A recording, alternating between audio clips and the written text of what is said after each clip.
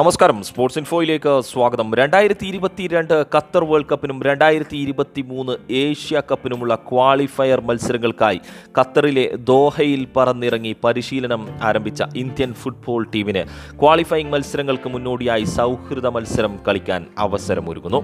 കൊൽക്കത്തയിൽ ക്യാമ്പും ദുബായിൽ വെച്ച് സൗഹൃദ മത്സരങ്ങളും ഒക്കെ ടീം ഇന്ത്യക്കായി നേരത്തെ പ്ലാൻ ചെയ്തിരുന്നുവെങ്കിലും കോവിഡ് രണ്ടാം തരംഗം ഇന്ത്യയിൽ അടിച്ചു വീശിയതോടെ പ്ലാൻ മാറ്റി നേരത്തെ ഖത്തറിലേക്ക് പറക്കുകയായിരുന്നു ഖത്തർ ബംഗ്ലാദേശ് അഫ്ഗാനിസ്ഥാൻ ടീമുകൾക്കെതിരെയാണ് ഇന്ത്യൻ ടീമിന് ക്വാളിഫയിങ് മത്സരങ്ങൾ കളിക്കാനുള്ളത്. ജൂൺ മൂന്നിന് ഖത്തറുമായുള്ള മത്സരത്തിന് മുന്നോടിയായിട്ടാവും സൗഹൃദ മത്സരം കളിക്കുക. ഓൾ ഇന്ത്യ ഫുട്ബോൾ ഫെഡറേഷൻ ഫിലിപ്പീൻസുമായാണ് സൗഹൃദ മത്സരം സംഘടിപ്പിക്കുന്നത്. അതീവ സുരക്ഷിതമായുള്ള ബയോ ബബിളിനകത്താവും മത്സരം നടക്കുക. കാണികൾക്ക് അവസരമോ ടി വി സംപ്രേഷണമോ ഉണ്ടാവില്ല. താരങ്ങൾക്ക് മത്സര പരിചയം നൽകുക എന്ന ഒരേ ഒരു ലക്ഷ്യം മാത്രം മുന്നിൽ കണ്ട് അതീവ സുരക്ഷാ വലയത്തിനകത്ത് മത്സരം നടത്താനാണ് plan.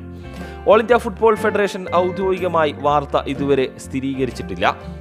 I F T W C ആണ് നിലവിൽ ഈ വാർത്ത പുറത്തു കൊണ്ടുവന്നിരിക്കുന്നത്. യൂറോപ്യൻ ലീഗിൽ പരിചയമുള്ള താരങ്ങൾ ഉൾപ്പെട്ട ടീമാണ് ഫിലിപ്പീൻസ് എങ്കിലും ലോക റാങ്കിങ്ങിൽ നൂറ്റി ഇരുപത്തി നാലാം സ്ഥാനത്താണ്. ലോക റാങ്കിങ്ങിൽ ഇന്ത്യയേക്കാൾ പിറകിലാണെന്നതും രണ്ടായിരത്തി പത്തൊൻപത് നവംബറിന് ശേഷം ഒരു അന്താരാഷ്ട്ര മത്സരം പോലും ഫിലിപ്പീൻസ് കളിച്ചിട്ടില്ല എന്നതും ടീം ഇന്ത്യയ്ക്ക് നേരിയ മുൻതൂക്കം നൽകും.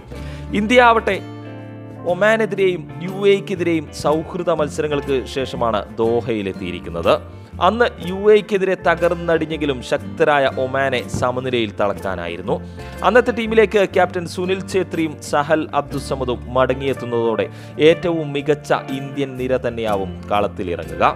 എഫ് സി ചാമ്പ്യൻസ് ലീഗിൽ മികച്ച പ്രകടനം നടത്തി എഫ് സി കോവയുടെ ഗ്ലാൻ മാർട്ടിൻസിന് ടീമിൽ ആദ്യമായി അവസരം നൽകിയതും പരിശീലകൻ ഇക്കൂർ സ്റ്റിമാക്കിന്റെ മികച്ച നീക്കം തന്നെയാവും. അടച്ചിട്ട സ്റ്റേഡിയത്തിനകത്ത് ഫിലിപ്പീൻസിനെ നേരിടാൻ ലഭിക്കുന്നത് വേൾഡ് കപ്പ് ക്വാളിഫയറിന് മുന്നോടിയായി ടീം ഇന്ത്യയ്ക്ക് മികച്ച മത്സര പരിചയം നേടാനുള്ള അവസരം തന്നെയാവും.